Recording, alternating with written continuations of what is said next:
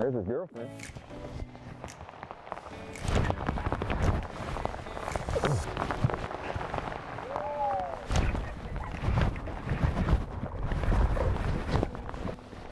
There it is, midday update. That's all I got to report right now.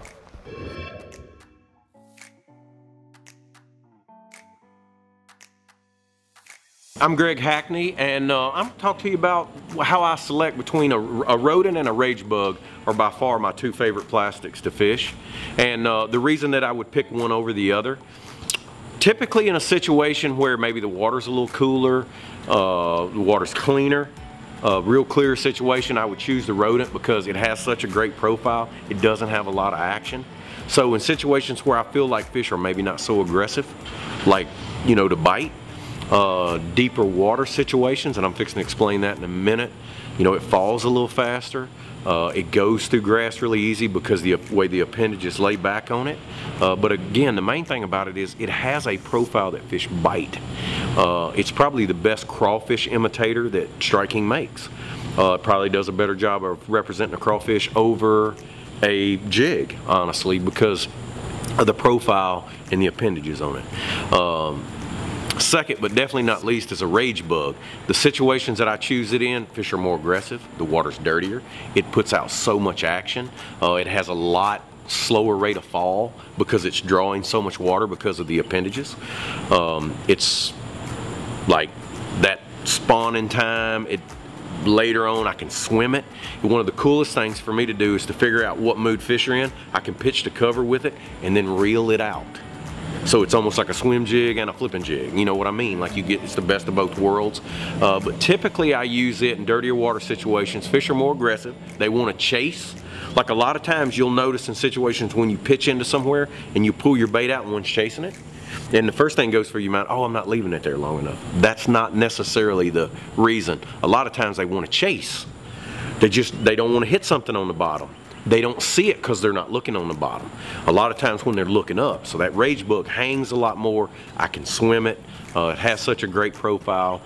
Anytime during warmer months of the year, typically it's my number one go-to choice just because it catches active nice. fish and uh, it's got a great profile, be my number one pick. A rodent is probably still my favorite plastic Please that Strike King makes. I caught so many eight to 10 pounders on it. It's such a great big fish lure in a situation where I get around, because big fish, typically that size fish move slower. They're harder to catch. They see better. They got big eyes. And that great profile with not a lot of action seems to work better on them, but uh, in cooler water situations and cleaner water. So the big thing is a lot of times when I'm flipping plastic deep, like flipping deep grass, and I'm not talking about mats, I'm talking about like standing hydrilla, standing coontail, milfoil, and deeper water, that rodent has a high rate of speed. And a lot of times when those fish are suspended in that stuff, I can get them to bite that rodent a lot better because it just rockets through there. So in a situation where I would need a one ounce jig to get a fast rate of fall, I can put a 3 8 ounce slip sinker on a rodent and it will fall on the same line as fast as a one ounce jig because it there's nothing dragging it back. But if I put a rage bug on that exact same weight, on a 3 8 ounce, it falls slow. The legs draw so much water. The rage appendages draw so much water. Uh, rodent doesn't have that. So fast rate of speed, fall, clear water, deeper grass. Those are just the situations when I like the rodent. And the other deal is I like it in colder water when fish are getting a good look at it. Again, it, it's a great profile, no action. So typically for me on colors, I do carry a lot of colors, but not year around. Different seasons, different colors, and I'll tell you the reason. Of course, green pumpkin and black and blue, if you didn't know any other colors. But warmer water situations, I lead towards colors with more metal flake, and I'll tell you why. Fish are aggressive, I want more flash. Colder water, duller colors.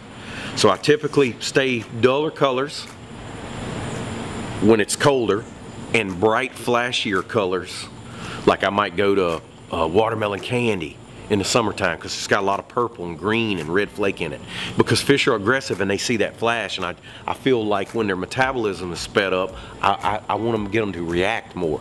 Colder water they're slower they're not moving as fast. I like something more natural seems to appeal to them more. That's just my opinion. Dark water dark colors. Brown water I like green pumpkin. Green water summer crawl because it's green. I just try to match the watercolor. And I'll tell you the big reason for that. I think fish are used to seeing things that look natural in the water, and most things that they feed on are trying to hide. Now I'm not saying in you know want to bite a white jig and anything, but more times than not, I, I start with something natural that matches the watercolor and I go from there. Now, in that situation, if you catch one, it's got a goggle on its throat or a bluegill or a crawfish, then we'll start to dial in the exact color because we know what they're feeding on. But at first, all we have to go on is watercolor. It's the current condition of the water. So we just try to use a bait that matches the current conditions of the water. And then we go from there. Now, of course, that you know, if you're fishing dark water on a dark day, I'll probably lean more to a June bug or a black and blue or a black neon. Something that, but again, colors that match that black tannic water, those dark colors like that. If the sun's shining, maybe I use a green pumpkin. You know what I mean? Like you might tweak the color a little bit because it's different when the sun's shining. A lot of times I'll start off in the morning pitching a black and blue and I've not caught a fish in practice on it. But I just know they see black really well, you know, or black neon. Uh, but it can be a situation where it's dark and, and it's dark, it's clean dark water, and I start off with black neon. Then when the sun gets high, that water's still dark. I go to California crawl because then it's watermelon red and black neon. Just change it up a little bit, make it little more natural. And a lot of times, just it looking good in the water, I'm gonna catch them on it because I feel good about it. It's in my head. I'll fish it in the right way to get a bite. If you put something on you don't have any confidence in, I don't care. You're not gonna catch them on. You gotta have something that you feel good about, and you'll put that right motion in to get bit.